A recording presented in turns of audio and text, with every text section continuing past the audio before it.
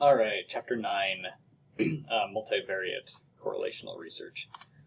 So multivariate uh, correlational research is actually very common. It's a very commonly used statistical technique. Um, what we're trying to do with multivariate designs is at least get closer to establishing causation. They don't technically establish causation, but they at least get you closer to it.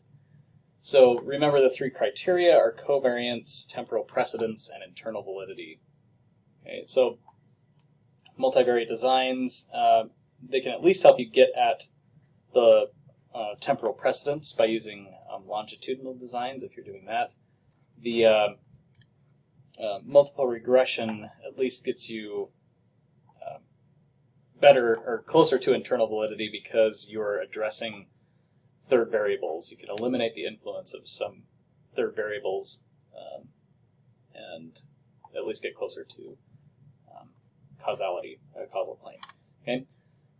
So, what are longitudinal studies? Um, that's a study with multiple time points. Um, so, sometimes these are across a long time span, like um, throughout someone's adult lifetime, or maybe you start with adolescence and then um, measure them as adults, or maybe it's just over the course of a few weeks or a few months, um, making multiple measurements over time.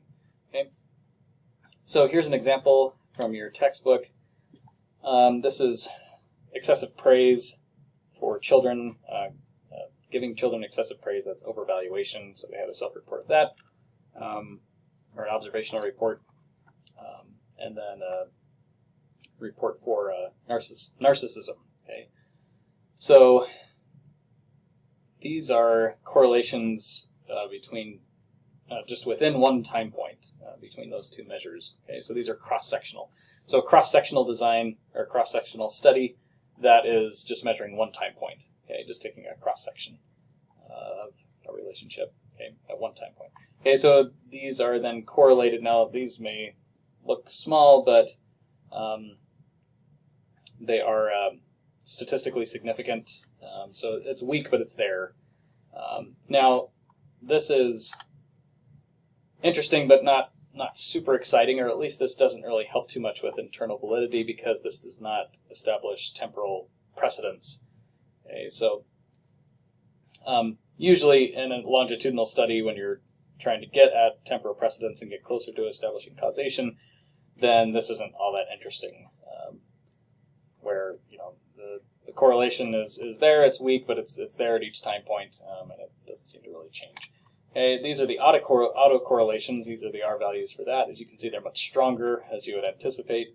So this isn't um, between the two variables um, at a particular time point, but this is correlations between um, the same variable but at different time points. So overvaluation at time one is strongly correlated with overvaluation at time two. So basically all this tells you is that over time, these traits or these behaviors seem to be fairly consistent. Again, this isn't really all that exciting. Usually this isn't exactly really the meat of what the researcher is looking for.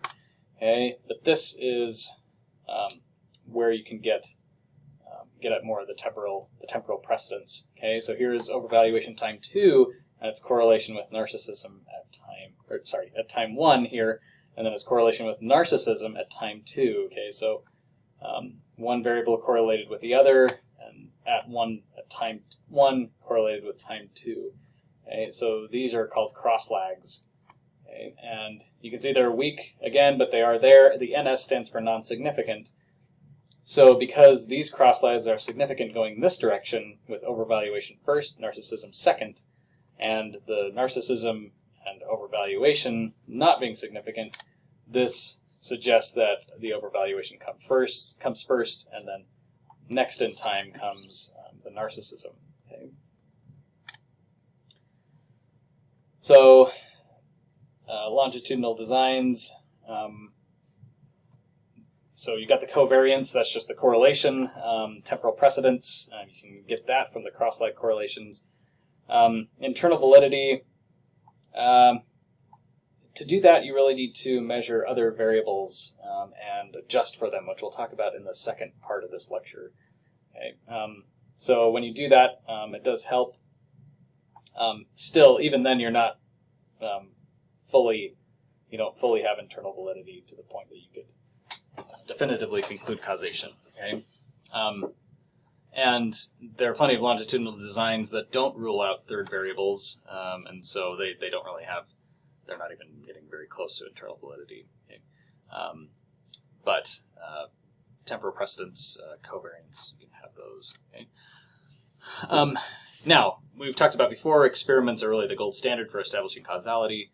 Um, why bother doing all this cross-lag stuff if you can just do an experiment? Well, there are plenty of questions that you can't answer with uh, experiments, plenty of variables that you can't just randomly assign a participant to. And sometimes maybe you could in theory, but um, it would be unethical. So um, that's why longitudinal designs can be um, valuable to at least get closer. So that's the end.